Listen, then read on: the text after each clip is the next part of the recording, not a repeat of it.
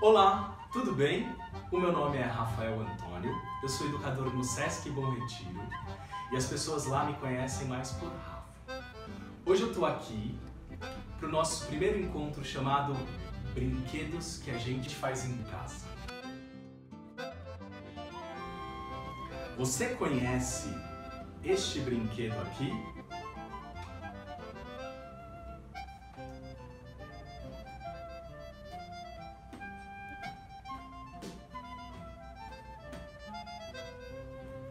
Pois é, esse aqui é o currupio, conhecido também como roncador, currupicho, olha, bugagato, speed. Topa fazer? Para isso, você vai precisar basicamente de dois elementos. Eu separei aqui muitas coisas que eu tinha em casa para vocês verem que é possível, com qualquer material que vocês tenham, confeccionar o currupio. Então eu separei, basicamente a gente precisa de duas coisas. Separei fios possíveis e objetos circulares também que dá para fazer. Bom, primeiro, de fio eu separei linha de agulha, separei linha de pipa, barbante, fio dental e uma linha da construção civil. Com qualquer um desses materiais a gente vai conseguir fazer, bem como precisaremos também de um objeto circular. E aí esse objeto circular pode ser desde um lindo botão, ou um botão não tão lindo, como tampinhas de garrafa PET, tampinha de metal de garrafa de vidro, ou até mesmo uma tampa de plástico de um objeto reciclável, de uma embalagem, também dá certo. Agora, se vocês não tiverem nada disso, um pedaço de papelão dá para confeccionar um currupio. Mas para isso você precisa fazer um círculo perfeito ao centro.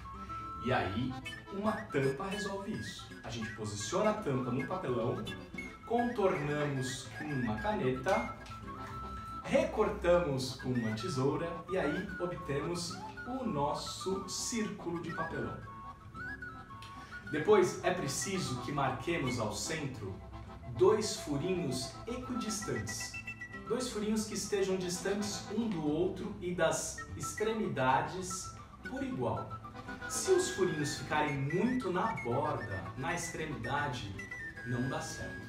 Bom, estou aqui com o meu pedaço de papelão e vou escolher para a confecção do nosso curpil de agora essa linha, que é uma linha chamada linha 10. Como o curpil é um brinquedo que tem uma tensão física, que a gente fica puxando com as duas mãos antagonicamente, é necessário que nós dupliquemos e muitas vezes até tripliquemos, quadrupliquemos a nossa linha. Para que o nosso brinquedo fique bem resistente. Então eu vou juntar todas as pontinhas e darei um nozinho.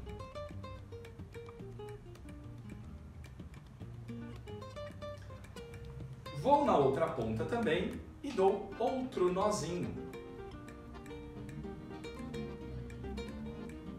Agora, eu falei pra gente marcar né, os pontinhos, vou dar uma dica. Com a própria caneta, a gente consegue furar. Coloque sobre um objeto transpassado e force com a caneta onde você marcou. Vire do outro lado e alargue um pouquinho o furinho. Cá estamos. Vamos lá. A gente passa a linha que confeccionamos por um dos buraquinhos e voltamos pelo outro buraquinho do curupio.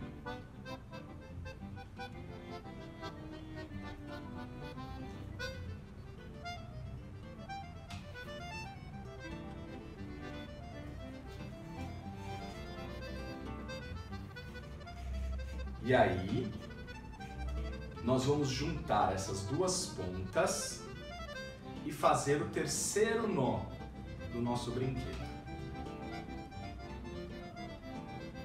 Legal. Agora a gente tenta dividir essa nossa corda, essa nossa linha ao meio, deixar o corrupio com metade da linha para cada lado. E vamos dar corda no nosso corrupio.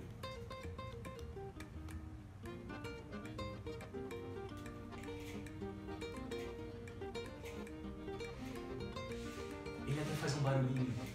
Vocês conseguem ouvir?